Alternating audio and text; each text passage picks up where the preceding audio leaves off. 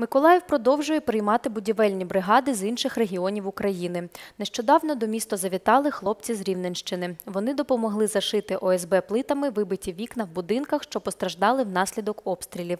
Більше про небайдужих робітників розкаже моя колега Наталя Засядько далі.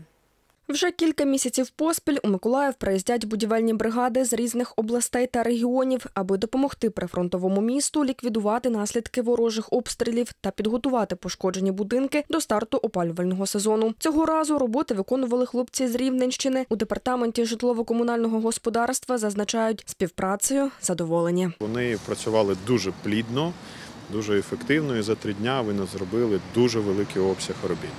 От ми якраз стоїмо біля одного з будинків, де було близько 130 розбитих вікон і в людей, і в місцях загального користування. І вони це зробили там менш ніж за день.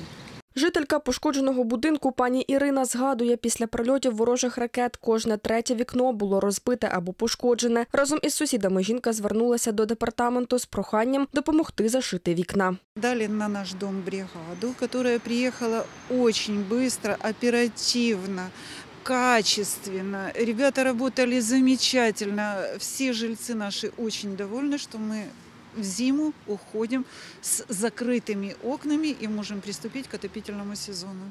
Бригада, яка прийшла на допомогу Миколаєву, працювала і в інших деокупованих та постраждалих внаслідок російських атак містах. Звичайні хлопці-добровольці з Рівненського обласного об'єднання Української церкви християн віри Євангельської приїхали на південь за власної ініціативи. Тут їм щиро вдячні.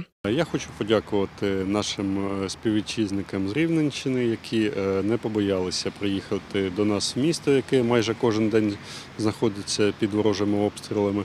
Е, Окрім того, вони приїхали і надали нам дуже велику допомогу в зашивці будівель ОСБ плитами в підготовці до опалювального сезону.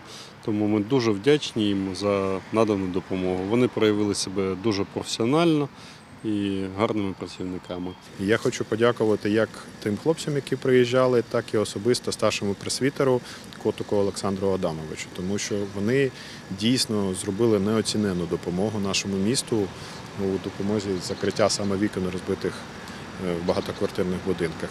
Наразі спільними зусиллями миколаївських комунальників та бригад з інших міст вдалося зашити 82% вибитих вікон. Роботи продовжуватимуться і далі, аби до настання холодів встигнути опрацювати якомога більше об'єктів інфраструктури. Наталя Засядько, Євгеній Гончаренко, телеканал Март для є новин.